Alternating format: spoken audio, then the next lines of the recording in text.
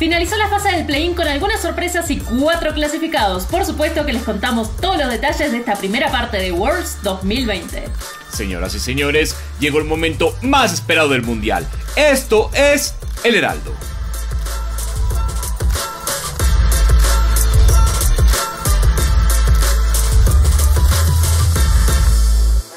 Esta fase de play-in fue una de las más parejas y emocionantes que hemos tenido, llena de sorpresas y algunas decepciones. Vamos a ver cómo le fue a cada equipo en sus respectivos grupos.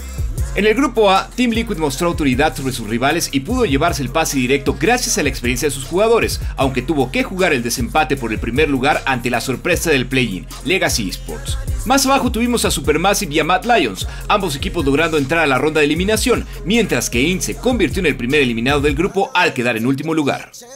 En el grupo B, PSG Talon se quedó con el pase al evento principal a pesar de jugar con tres suplentes, superando en el desempate a Unicorns of Love, quien quedó segundo.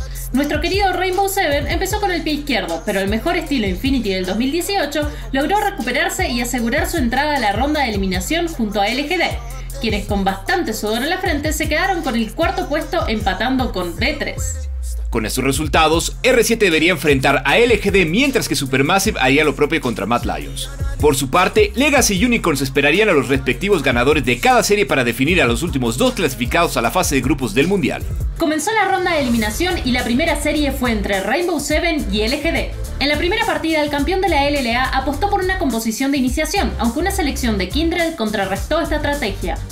En el juego 2, R7 cambió un plan de desgaste y peleas prolongadas, pero una vez más LGD dominó. Esta vez gracias a su control de los dragones y el dominio en las escaramuzas. Ya en el tercer juego, R7 fue por todo con una Kale en el carril superior, y aunque el equipo logró sacar algunas ventajas y José de Odo se lució con su Lee al final el escalado del equipo chino sumado a que Orn era prácticamente inmortal hicieron imposible remontar esta serie, quedando R7 eliminado del torneo.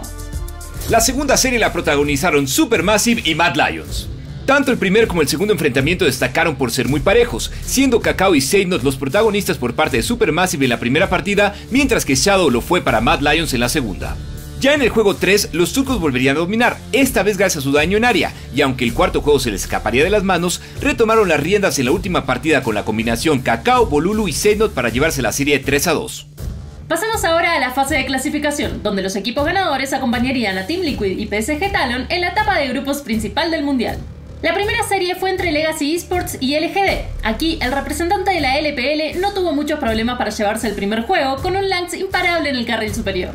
En el juego 2, el campeón de Oceanía plantó cara y estuvo cerca de llevarse el triunfo, pero los chinos se recuperaron y con un cuadra de Shige consiguieron voltear el resultado.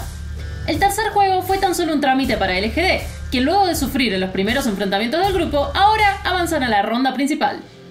El último pase se jugaría entre Unicorns of Love y Supermassive. En el primer juego, el campeón de la LCL estuvo imparable tanto en objetivos como en las escaramuzas, gracias principalmente a la Nida y Nasic, llevándose un triunfo relativamente sencillo.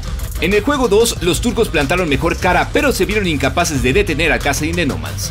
Ya en el último juego, Nomans volvería a lucirse, esta vez con una Vayne en el carril central, algo que desconcertó al campeón turco, quien al final no pudo remontar el juego.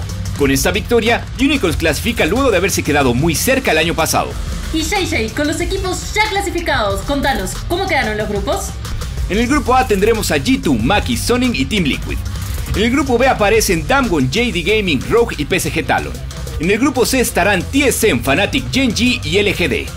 Finalmente, el grupo D lo conformarán Top Esport, DRX, FlyQuest y Unicorns of Love.